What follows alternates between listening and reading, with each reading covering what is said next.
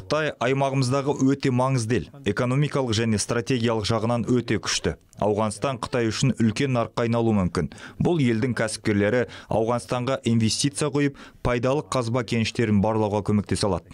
Бейжіңнің де Ауғанстанда экономикалық мүдделері бар. Таулы өңірде орналасқан бұл ел темір, мыс, алтын, сирек кездесетін металдар секілді пайдалы қазбаларға бай. Сондай-ақ жаңа жібек жолындағы транзиттік елге айналуы мүмкін. Осы аптада Ауғанстаннан Шанхайға ұшақпен 45 тонна балқарағайдың жаңғағы жеткізілді.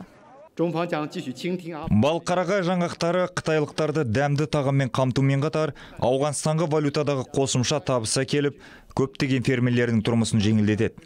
Қытай ауған халқына қолынан келгенше қолдау беріп, көмек көрсетуін жалғастырады.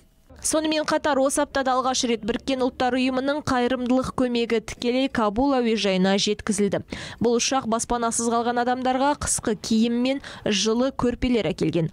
Ұйым мәліметі бойынша елдегі шиеленіс кесірінен 3,5 миллиондай адам үйлерін тастап, босуға мәжбүр болды. Біріккен ұлттар ұйымы биыл Ауғанстан тұрғындарының қажеттеріне 606 миллион доллар сұрап, 11 миллион адамға жәрдем беруді көздеген болатын. Алайда қазіргі кезде бұл соманың тек жартысы жиналды.